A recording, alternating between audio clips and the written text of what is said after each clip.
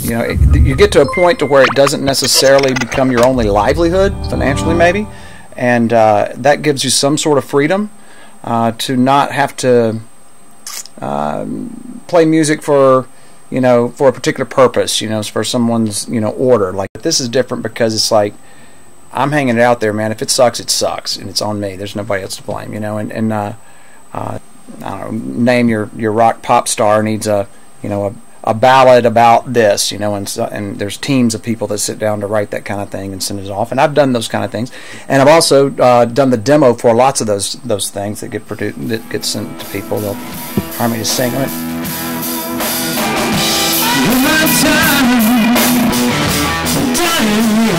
And although that's fun, that's not um, not at all gratifying. You know? I really like the creation of music. I like the, the opportunity to take something, uh, take nothing rather, and turn it into something. Um,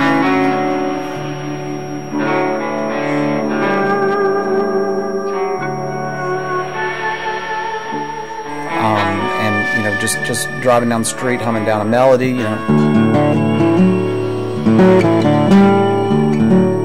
and not even knowing what that's going to be, and then later it becomes something really special, you know.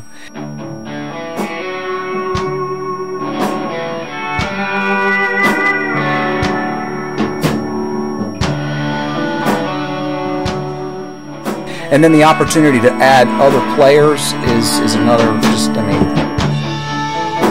The sun eclipses the moon. Uh, as much as you know this passion project has kind of been around my vision the other guys in this particular project are all just I mean they're just top-notch players and they're making me raise my game and I've played for a long time so. It happened all too soon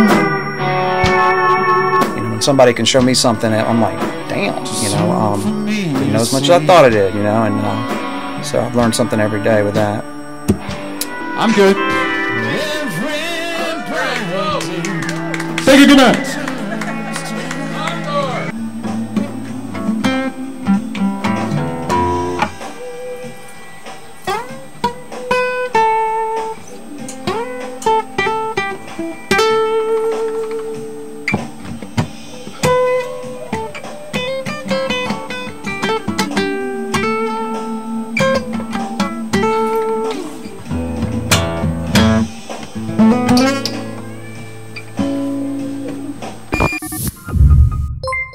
This is TomorrowPictures.tv.